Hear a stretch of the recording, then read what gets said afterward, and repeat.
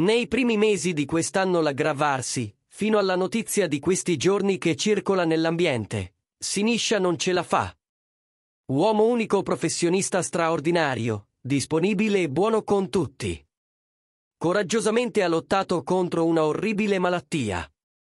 Ringraziamo i medici e le infermiere che lo hanno seguito in questi anni, con amore e rispetto. In particolare la dottoressa Francesca Bonifazzi, il dottor Antonio Curti, il professore Alessandro Rambaldi e il dottore Luca Marchetti.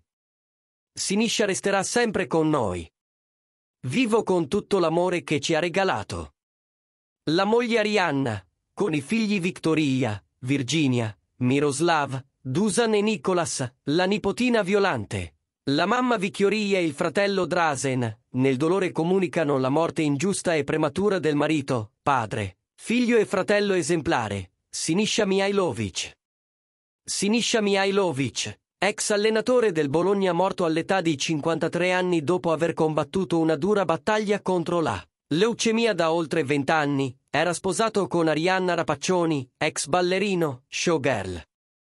Arianna Rapaccioni è un'ex showgirl italiana che nei primi anni 90 ha lavorato come soubrette in programmi televisivi come Luna Park, il cui conduttore era Fabrizio Frizzi e anche in quelli che il calcio. Nel 1995 incontrò Sinisha Mihailovic quando ancora giocava nella Sampdoria e decise di mettere un punto alla sua carriera televisiva. Per prendersi cura della famiglia.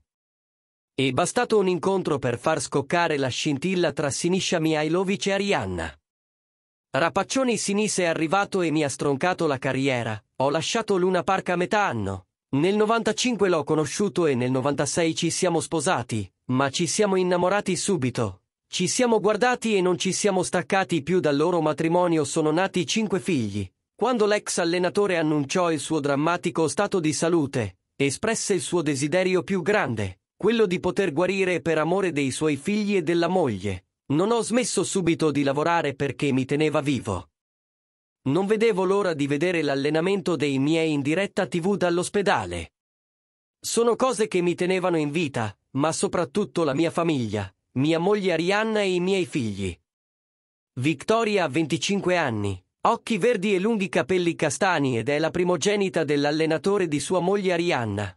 La ragazza ha quattro fratelli Virginia, Miroslav, Duscia e Nicolas.